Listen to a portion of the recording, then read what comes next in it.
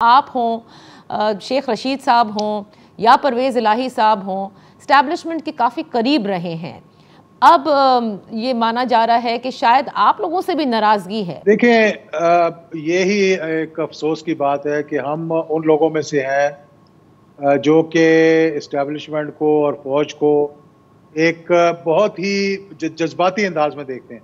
मुझे याद है कि एक ज़माना वो था कि जब बेनज़ीर पे कांटा लगाया गया था और हर कोई कहता था जी के सियासत कर रही है तो इसे छोड़ दो। चाहे वो इनके स्टॉलवर्ड से या किसी और को जब भी पैगाम जाता था हम्म। कि इनका साथ छोड़ दो तो आप ठीक है बिल्कुल। अच्छा। उसके बाद 1999 में हमने देखा कि नवाज़ शरीफ साहब के बात आ गई और फिर काफ लीग बन गई। तो उन्होंने कहा जी इस पे काटा लगा दो। अगर इससे दूर हो जाओगे तो सारे मामला ठीक हो जाएँगे। अच्छा। और फिर अब तीसरा मरतबा ये आया कि जी अब कहते हैं इमरान खान पे कांटा लगा दो। अच्छा ये कहते हैं कि इमरान खान पे जो जो वो कहते हैं कि मेरे नाम पर वो लकीर लगा दी गई है लाल लकीर लगा दी गई है ये सच है?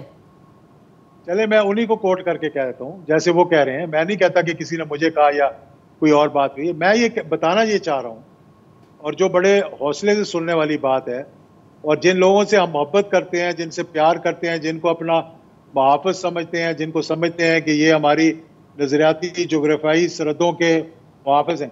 परवेज लाई के घर पर जब हमला हुआ हम्म। आज जब शबाज शरीफ साहब ने मोहसिन नकवी ने राना सनाउल्ला ने अपने आप को उससे दूर कर लिया है तो तबसरों में मैंने बहुत से तबसरे सुने उन तबसरों में किसका ज़िक्र किया जा रहा है? क्या आपसे कहा गया अब तक कि आप इमरान खान साहब से दूर हो जाएँ? देखिए जब मैं इमरान खान साहब के पास गया और फिर मुझे एफ़ आई ए के और एंटी करप्शन के जब नोटिस आने शुरू हो गए तो उसका क्या मतलब था? क्या गिरफ्तारी अमल में लाई जा सकती है आपकी? मुझे गिरफ़्तार करके क्या करेंगे?